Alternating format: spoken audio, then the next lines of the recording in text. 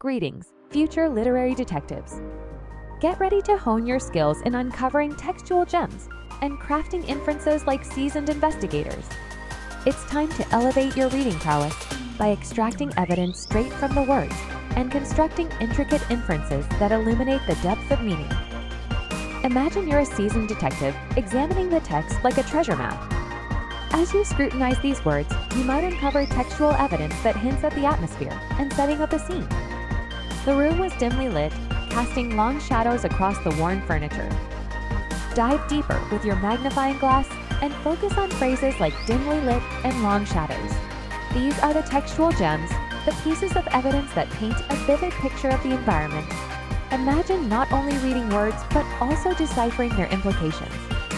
In a narrative, a character might glance at their watch repeatedly. Interpreting this action is constructing an inference about the character's impatience, anxiety, or eagerness to leave. As the meeting droned on, Sarah's gaze repeatedly flicked to her watch. She shifted in her seat, tapping her fingers on the table.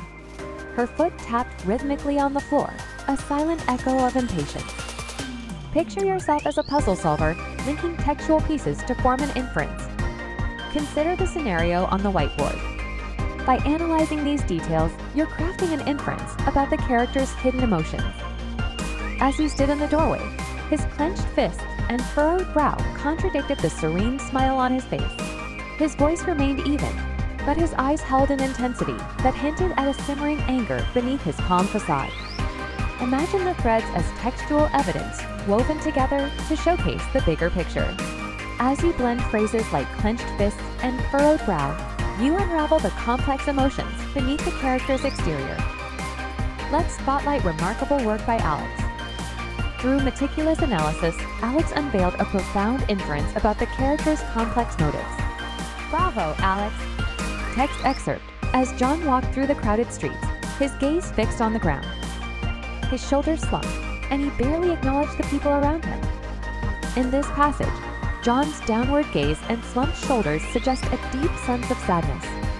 The lack of interaction with others indicates his emotional isolation and preoccupation with his thoughts. This hints at an underlying internal struggle that the author is subtly communicating. Let's spotlight remarkable work by Alex. Through meticulous analysis, Alex unveiled a profound inference about the character's complex motives. Bravo, Alex!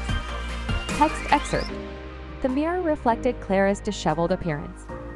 Her eyes, once vibrant, now held a hint of uncertainty as she faced her reflection. The mirror serves as a symbol of self-discovery and introspection in this passage. Clara's disheveled appearance reflects her internal turmoil, while her uncertain gaze suggests a moment of self-doubt. This symbolic scene signifies Clara's journey of confronting her inner conflicts and seeking her true identity.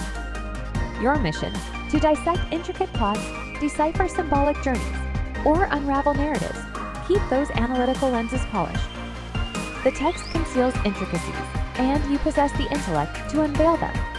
The teacher entered the room, her expression stern and her footsteps heavy. The class hushed immediately, and no one dared to make eye contact. Even the usual whispers had vanished into thin air. Sarah's response, since the class was hushed without a whisper, I believe the class might be in trouble.